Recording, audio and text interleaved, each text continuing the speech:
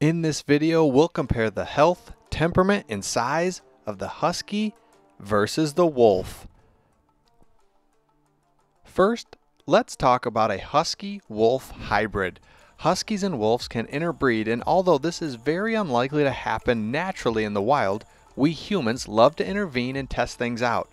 Husky wolf hybrids do exist, and many people are trying their luck at turning them into a domestic pet.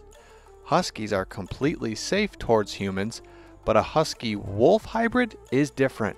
The natural survival instincts to hunt and kill is deeply rooted in wolves, and when it comes to anything instinctual, it's hard to train against it. People have had mixed results trying to make a nice family pet out of the wolf hybrid.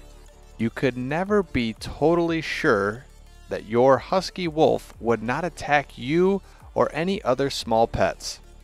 So keep this in mind if you consider breeding a husky with a wolf.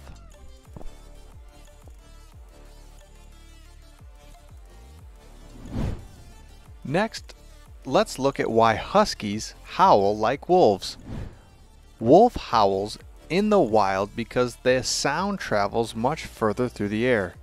The howl is primarily used to locate another wolf or pack and is often used by lost wolves to find their way back.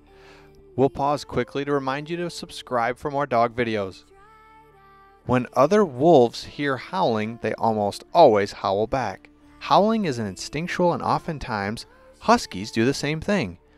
Although huskies are domesticated pets that live in our homes, they still have the instincts to howl, oftentimes in retaliation to sirens, babies crying, or other dogs, and general noises that fire up that instinct to howl. Now let's compare and contrast the health of these two animals. Huskies are generally healthy, but like all breeds, they're prone to certain health conditions. Not all huskies will get any or all of these diseases, but it's important to be aware of when you consider this breed. The main health concern is eyes and hip dysplasia, a couple of things to consider if you are considering this dog. Now let's take a look at the wolves. In the wild, wolves probably do not get as sick because they are not as crowded in captivity. But in the wild, wolves probably get injured more because they have to kill to eat. Tamed wolves can be healed by feeding them any sort of meat other than fish.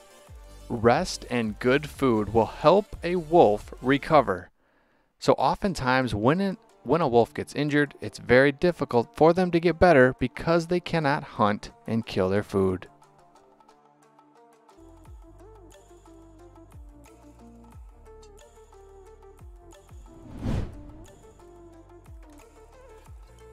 Next, we'll compare and contrast their temperament. The husky and the wolf are profoundly different in their temperament. One is a domesticated animal and the other one is wild. The domesticated husky has learned its boundaries over the years. It knows its owners, its family, kids, and other animals not to be as much of a threat as a wolf would. So a wolf is very skittish and ready to attack at any time. This makes their temperament very uneasy and very unsure. Whereas the husky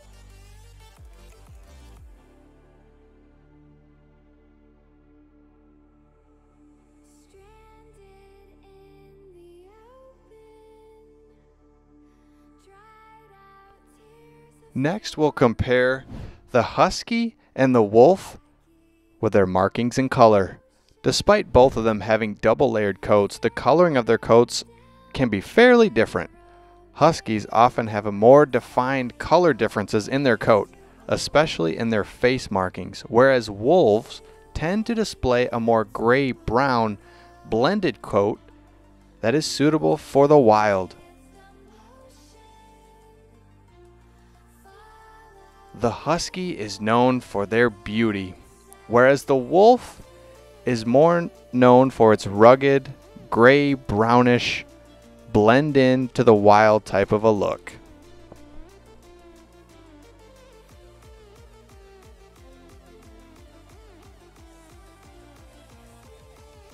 Next, we'll compare their overall size and appearance. The husky and the wolf look very similar. They both have thick fur, which keeps them protected from the elements. And under that fur, they both have an undercoat, which insulates their body heat. Another similarity is their appearance is that they seem to be about the same size. However, the wolf is actually much larger, and it holds the title of the largest animal in the canine family. The husky measures 23 inches tall whereas the gray wolf measures 26 to 32 inches tall. The husky has bright blue eyes, whereas the wolf has yellow eyes. Finally, we compare and contrast the history of the husky and the wolf. The Siberian Husky is a high energy but even tempered dog that has a long and ancient history. Many people often confuse them with the common wolf, but there are striking differences along with some similarities. First, let's look at the husky. It is believed that the Siberian husky was bred in Russia thousands of years ago, thought to have been bred from other canine animals, likely to be wolves. The husky was engineered to pull light loads over vast expanses of land at fast speeds without tiring too easily. They were a working dog that could help in the harsh elements. As for the gray wolf, there are two types of wolves, the gray and the red. It is believed that there is up to 38 different species of wolves. But the most common is the gray wolf, and it's the one that looks just like the husky. But as you've learned in this video, there are some similarities and some differences. We hope you've enjoyed this video, and it's given you a better understanding of the difference between a husky and a wolf. We look forward to the next video.